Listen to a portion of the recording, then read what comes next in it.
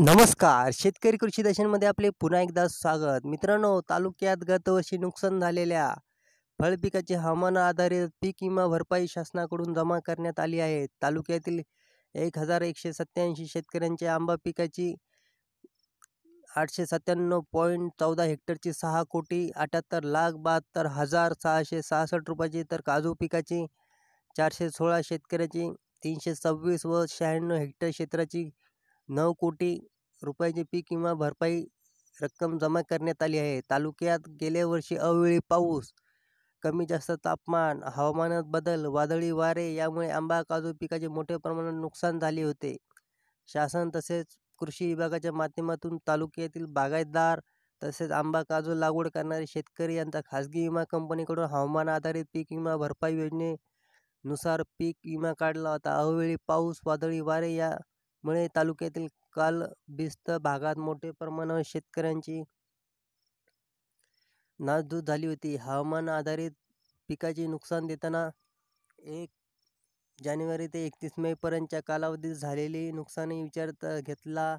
एक डिसेंबर ते अठ्ठावीस फेब्रुवारीपर्यंतच्या कालावधीत झालेल्या नुकसानीची विचारात घेतली आहे व माग मागील वर्षातील विमा योजनेची सर्व नुकसानीची रक्कम यावर्षी प्राप्त झाली आहे.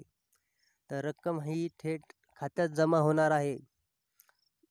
नुकसानीचे पंचनामे हवामानावर आधारित पीक विमा भरपाई करून भरपाईचे प्रस्ताव विमा कंपनी तसेच शासनाला पाठवले होते. जवळपास वर्षानंतर सप्टेंबर पीक विमा भरपाईला जिल्ह्याला प्राप्त झाली आहे. ही भरपाई रक्कम शेतकऱ्याच्या थेट खात्यात ऑनलाईन बँकिंग पद्धतीने वर्ग करण्याची प्रक्रिया सुरू आहे व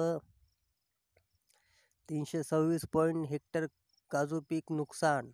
येथील कृषी विभागाने केलेल्या कंचना पंचनामामुळे तालुक्यातील एकशे एक हजार एकशे सत्त्याऐंशी शेतकऱ्यांच्या साधारणपणे आठशे सत्त्याण्णव पॉईंट चौदा हेक्टर क्षेत्राचे आंबा पिकाचे नुकसान झाले होते. तर चारशे सोळा शेतकऱ्यांचे काजू पिकाचे तीनशे सव्वीस पॉईंट शहाण्णव हेक्टर क्षेत्राचे नुकसान झाले होते. या चालू वर्षाचे आंबा व काजू फळपीक नुकसान भरपाई पीक विमा योजनेबाबत पंचनामे तसेच प्रस्ताव पाठवण्याची कारवाई सुरू असल्याची माहिती तालुका कृषी विभागाने दिली आहे.